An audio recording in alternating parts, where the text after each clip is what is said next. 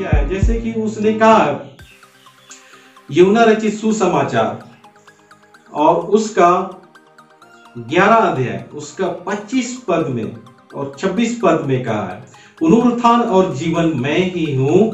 जो कोई मुझ पर विश्वास करता है, वह यदि मर भी जाए तो भी जिएगा। और जो कोई जीवित है और मुझ पर विश्वास करता है, वह अनंत काल तक ना मरेगा। तो ये प्रभु ने हमारे साथ प्रतिज्ञा की है और प्रभु की सारी प्रतिज्ञाएँ उसी में हाँ और आमीन के साथ है। उसने प्रकाशित किया, एक अठारह में, वो हमारे पास ये साबित करता है, ये गवाही दे रहा है कि मैं मर गया था और अब देख मैं जुगान युग जीवता हूँ और मृत्यु और अधोलों की कुंजिया मेरे ही पास है। और जितनों ने आज यीशु मसीह पर विश्वास किया, जो आज उस पर विश्वास करते हैं, वो उनके लिए ये मृत्यु का कोई भी भय नहीं। आज भी जो लोग उस पर विश्वास करते हैं तो प्रियो, हमें जो है, आज भी अगर हमारे पास ये समय है तो आज हम प्रभु के साथ समय बिताए। आज हम प्रभु के साथ अपने संबंध को नए सिरे से स्थापित करें। प्रभु यीशु जो धर्मियों के लिए नहीं आया, वो गुनेगार लोगों के लिए। और हम जैसे गुनेगार लोगों के लिए उसने मृत्यु को सहा और उस पर विजय पाई है। और इसलिए हमें आज क्या करना है? अगर आप उस जीवन का अनुभव को इस लॉकडाउन में महसूस करना चाहते हैं तो अपने सारे गुनाहों को आज प्रभु के सामने लेकर आए।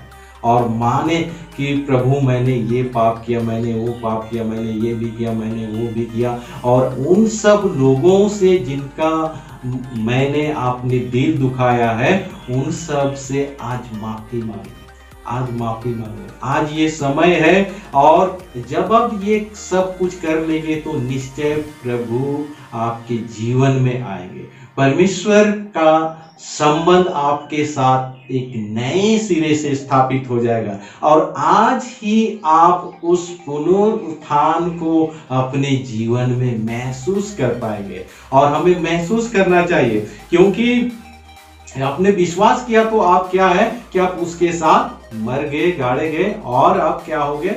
उसके साथ जी भी उठे हैं। और जैसा कुलसियों की पत्री, उसका तीन अध्याय, उसका पहले पद में लिखा है, अतः जब तुम मसीह के साथ जिलाए गए तो स्वर्गीय वस्तुओं की खोज में अगर हम मसीह के साथ जिलाए गए तो स्वर्गीय वस्तुओं की खोज में रहे, जो क्या है? बहुत ही उत्तम है।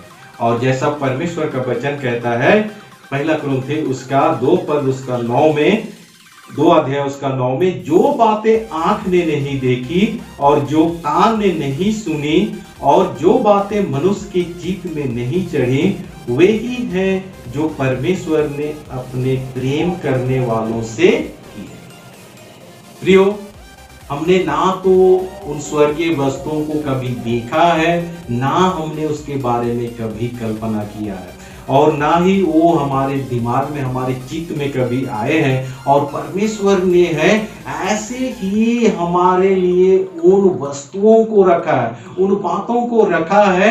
इस समय हम उन बातों की ओर अपना ध्यान लगाए और उन बातों की ओर जो है, उन आशाओं को जो है पूरा करने की ओर जो है हम आस लगाए। और जब हम किसी वस्तु की आशा करते हैं तो हम जतन करते हैं कि वो वो वस्तुएँ हमारे जीवन में आए। तो आज हम जो है वो जतन करें कि जो है आज हम प्रभु के साथ अपने संबंध को स्थापित करें। और प्रभु के संबंध जो है हमारा प्रभु से हमारा संबंध वो नया बनता जाए। हम दिन प्रतिदिन जो है आ, हमारे और प्रभु के संबंध में जो है वो नयापन आए। और रोज दिन हम उस आनंद को महसूस करें जो कि हमें प्रभु की उपस्थिति में होता है।